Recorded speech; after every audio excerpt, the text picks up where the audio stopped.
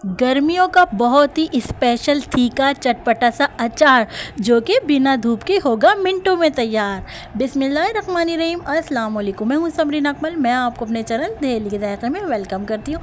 उम्मीद करती हूँ आप सब लोग खैरियत से होंगे। आज मैं आपसे शेयर करूँगी कैरी और हरी मिर्च और लहसन का चटपटा अचार, जो कि आप मिनटों में तैयार करेंगे। बहुत ही सिंपल सी और आसान सी रेसिपी है। बिल्कुल भी मेहनत नहीं करनी। अभी बनाएँ और अभी खाइए। तो रेसिपी को एंड तक देखें। रेसिपी अच्छी लगे तो प्लीज़ लाइक कर दे और, और शेयर कर दीजिए और दिल्ली के जायके सब्सक्राइब कर लीजिए। बेल के बटन को ज़रूर प्रेस कीजिए जैसे मेरी नई आने वाली रेसिपी आपको फौरी देखने को मिलेगी। तो चलिए फिर जल्दी से चटपटी सी टेस्टी से अचार की रेसिपी बनाना स्टार्ट कर लेते हैं। तो थीका सा, चटपटा सा, मज़ेदार सा अचार बनाने के लिए मैंने आधा किलो कैरियाँ ले ली हैं। और साथ में ये मैंने एक पाव हरी मिर्चें ले ली हैं, जिनको कैरियों हरी मिर्चें दोनों को मैंने धोल के और इनको सुखा के फिर मैंने इनकी कटिंग करी। अच्छा हरी मिर्चों के मैंने बीच में से कट लगा लिए हैं, मैं आपको दिखाती हूँ। बाकी हरी मिर्चों में तो मैंने कट लगा ली हैं, एक दो हरी मिर्चें मैंने आपको दिखाने के लिए रोक ली थी तो देखिए मैं बता रही थी इस तरह मैंने सिर्फ़ बीच में से इनको कट लगाने, ज़्यादा गहरे हम कट नहीं लगाएँगे, बस इतना लगाएँगे हल्का सा कि जो हम अचारी मसाला है वो इसके अंदर फिल हो जाए। तो देखिए, इस तरह हमने हल्का सा कट लगाना है। कैरियों को इस तरह हमने क्यूब्स में काट लिया। इस तरह क्या है, कैरियाँ जल्दी से गल जाएँगी। अच्छा यहाँ पर साथ में मैंने लहसन ले लिया है। कैरी, हरी मिर्चों के साथ मैं लहसन शामिल करूँगी। आप चाहें तो यहाँ कोई और सब्ज़ी भी डाल सकते तो चटपटा सा इंस्टेंट सा अचार बनाने के लिए सबसे पहले पतीली में मैंने पानी ले लिया है। जैसे पानी बॉइलिंग पॉइंट पर आया तो मैं यहाँ पर कैरियाँ डाल दूँगी।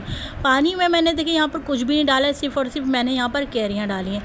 अच्छा अब हमने यहाँ पर बॉयल कितना करना है कैरियों को? सिर्फ़ और सिर्फ़ आप घड़ी देख लीजिए, पाँच मिनट के लिए हमने यहाँ पर कैरियों को बॉयल करेंगे। आप देखें जैसे ही कैरियों की स्किन जो है वो कलर चेंज हो तो बस फिर आपने छान लेना है। कैरी को हम ड्रेन कर कर एक तरफ़ रख लेंगे। अब बना लेते हैं अचार का टेस्टी सा मसाला। तो अचारी मसाला बनाने के लिए यहाँ पर मैंने वन टेबल स्पून साबुत धनिया ले लिया है वन टेबल स्पून ज़ीरा ले लिया वन टेबल स्पून मैंने सौंफ ले है तीनों को मैंने हम वज़न ले लिया, अब इन तीनों को हमने मिक्सी जार में पीस लेना है। अब हमने कितना पीसना है, इसको हमने ज़्यादा फाइन नहीं पीसेंगे, इसको हम मोटा सा दर दर सा पीस लेंगे। तो मैं आपको दिखाती हूँ हमने इसको कितना पीसना है। तो यहाँ पर आप देखिए हमने इन तीनों चीज़ों को पीस लिया। इस तरह मोटा सा, दरदरा सा हमने पीस लिया है। अच्छा अभी इसमें हम और मसाले शामिल करेंगे तो अब हम इसमें शामिल कर लेंगे। वन टीस्पून में लाल कुटी मिर्च शामिल करूँगी और हाफ़ टी स्पून में पिसी हुई लाल मिर्च शामिल करूँगी। इसके अलावा मैं यहाँ पर शामिल करूँगी कलर के लिए, अच्छे कलर के लिए हल्दी शामिल करूँगी मैं वन टीस्पून। भरकर मैंने यहाँ पर हल्दी शामिल कर दी है। इसके अलावा हल्दी शामिल करने के बाद अब मैं शामिल कर दूँगी यहाँ पर नमक। नमक मैंने वन वन टेबल स्पून मैंने नमक लिया था। इतना मैंने नमक बाद में और ऐड किया था। तो टोटल हमने वन टेबल स्पून नमक शामिल किया है। वन टीस्पून हमने कलौजी ले ली है। और इसके अलावा अब हम अच्छे कलर के लिए यहाँ पर हमने हाफ़ टी स्पून कश्मीरी देगी लाल मिर्चें ले ली हैं। अब इन तमाम मसाले को अच्छी तरह बनाएँगे, मिक्स करेंगे हम। और यहाँ पर मैं शामिल कर दूँगी मेथी दाना। मेथी दाने को भी अच्छी तरह से हम मिक्स करेंगे। लीजिए हमारा चार मसाला। अब हमने एक कढ़ाई ले ली, इसमें हमने हाफ़ कप ऑयल शामिल कर दिया है और जो हमने अचार मसाला बनाया था, ये शामिल कर देंगे अचार मसाला। अच्छी तरीके से अचार मसाले को हम ऑयल में भून लेंगे, इस मसाले को अच्छी तरह से हम फ्राई कर लेंगे। अच्छा जो अचार मसाला हमने बनाया है, आप इसको किसी भी अचारी मसाले की जो भी डिश बनाए, उसमें भी शामिल कर सकते हैं। आप अचार मसाले को इसको स्टोर करके भी रख सकते हैं। सेव कर लीजिएगा अचार मसाले को तो ये अचारी मसाला हमने आपको बनाना सिखा दिया है। अचार गोश्त बनाए तो आप उसमें भी शामिल कर सकते हैं। अचारी हरी मिर्च में भी आप इस मसाले को बना लीजिएगा। अच्छा देखिए, अच्छी तरीके से हम इस अचारी मसाले को ऑयल में अच्छी तरह से भून रहे हैं ताकि मसालों का जो कच्चापन है वो दूर हो जाए। अगर अचार की यूनिक सी रेसिपी आप सब लोगों को अच्छी लग रही है तो रेसिपी को लाइक कर दें और डेली के जायके को सब्सक्राइब कर लीजिए आप सब लोगों का बेहद शुक्रिया।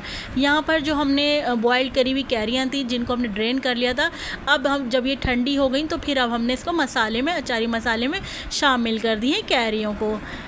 कैरियाँ शामिल करने के बाद जो हरी मिर्च थी और लहसुन था, ये भी हम इसमें शामिल कर देंगे।